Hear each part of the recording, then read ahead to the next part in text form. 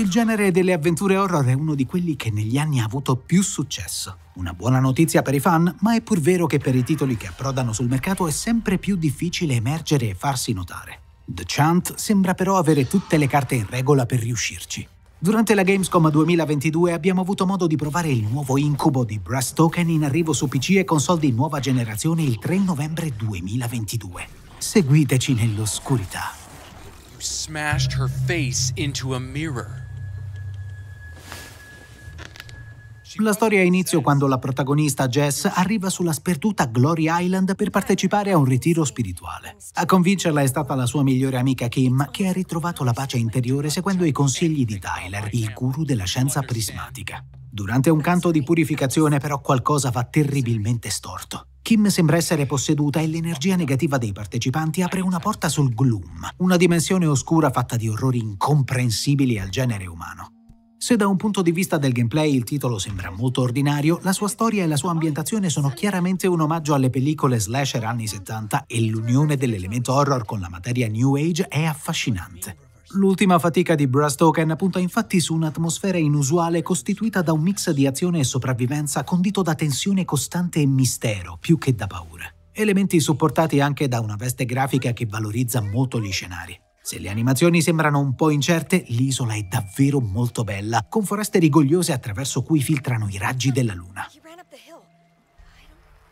L'avventura si muove su binari ludici abbastanza prestabiliti, ma integra la componente New Age nel sistema di combattimento e nel potenziamento del personaggio. Le statistiche da tenere d'occhio sono rappresentate da tre indicatori: mente, corpo e spirito. La mente è la capacità di resistere all'orrore del gloom. Più saremo esposti alla paura e più questa diminuirà. Quando la mente di Jess è totalmente prosciugata, la protagonista cade vittima di attacchi di panico, perdendo la possibilità di attaccare e ritrovandosi in difesa. L'unico modo per contrastare questa eventualità è trovare un luogo sicuro e lasciare che Jess respiri e riacquisti il controllo di se stessa. Per alleviare le sofferenze della mente potremo anche utilizzare della lavanda che permette di riacquistare lucidità, oppure meditare, azione che Jess può eseguire attingendo all'indicatore dello spirito. La statistica corpo è la più tradizionale salute che calerà quando Jess si farà male. A indebolirla sono principalmente gli attacchi fisici e per curare il corpo dovremo consumare dello zenzero. Lo spirito infine è l'energia interiore che la protagonista può utilizzare per ritrovare la stabilità mentale, ma soprattutto per eseguire attacchi psichici essenziali per alcuni combattimenti. Si tratta di tecniche per lo più a distanza che permettono di rallentare il tempo per qualche istante o generare un'onda d'urto che ferisce o sbilancia i nemici. Per ricaricare questo indicatore, Jess dovrà accedere alle pietre dello spirito sparse un po' per tutta l'isola, mentre per imparare nuovi attacchi psichici dovrà liberare i suoi compagni dall'energia negativa che portano con loro. Raccogliendo invece i cristalli prismatici, il giocatore può potenziare le capacità di Jess sia passive che offensive. Oltre agli attacchi spirituali, nell'arsenale di Jess ci sono anche armi per il combattimento corpo a corpo davvero originali. Nella ruota delle armi abbiamo visto molti spazi vuoti, con la demo che ci ha messo a disposizione solo quattro oggetti, dei bastoncini di salvia da bruciare, dei rami incendiari, sale e olio essenziale. I primi due vengono accesi e branditi come fossero armi bianche, mentre sale e olio vengono lanciati e bloccano i nemici per qualche secondo. L'uso di sale e olio è importantissimo anche in un'ottica di sinergia con altre armi. Spargere ad esempio un nemico di olio per poi colpirlo con un ramo incendiario incrementerà i danni inflitti.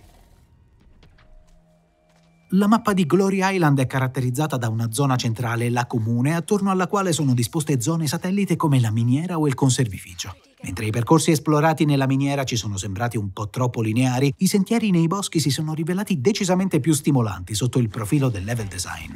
In più di un'occasione è necessario un po' di backtracking per aprire scorciatoie e andare alla ricerca di chiavi, il tutto mentre le mostruosità del gloom ci braccano senza sosta. Questa entità maligna si manifesta in due modi differenti, attraverso la presenza dei nemici e invadendo il nostro piano dimensionale. Una volta che l'entità si insedia in una zona, quest'area viene popolata da creature mostruose e una pesante foschia colorata aleggia nell'aria, e solo sconfiggendo particolari fioriture tentacolari si potrà scacciare il gloom. La parola d'ordine tuttavia sembra essere prudenza, poiché l'elemento survivor è molto marcato. Talvolta la fuga è la migliore arma a nostra disposizione, anzi, a meno che Jess non sia costretta, evitare i combattimenti e seminare i nemici è forse la strategia migliore.